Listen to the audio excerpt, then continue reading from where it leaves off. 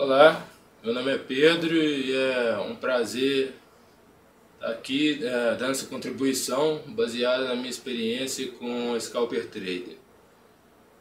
É, eu comecei operando mini índice por price action é, e sem, nunca acompanhei indicadores e ao mesmo tempo nunca me senti completamente confortável olhando só gráfico, né?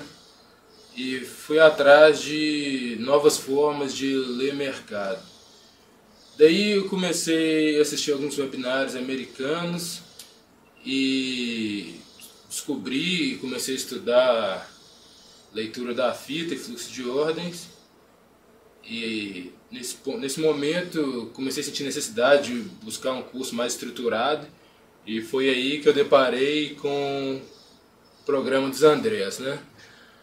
É, realmente, tape reading e fluxo de ordens era o que eu buscava tecnicamente, mas o que eu achei mais proveitoso do curso da Scalper Trader é, foi aprender com maior profundidade as nuances do mercado e funcionamento do mercado e análise mental pessoal, né?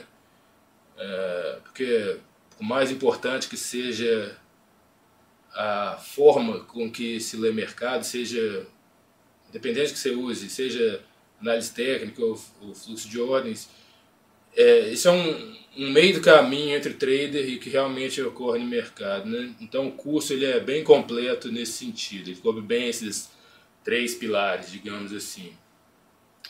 Né? E,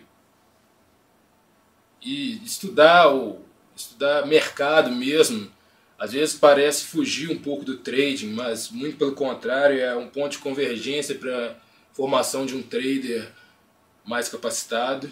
E conhecer nós mesmos é um trabalho para a vida toda e que eu tenho convicção que compõe a espinha dorsal de um trader consistente. É, o mercado ele não, não não erra trade, não acerta trade, é, somos nós, né?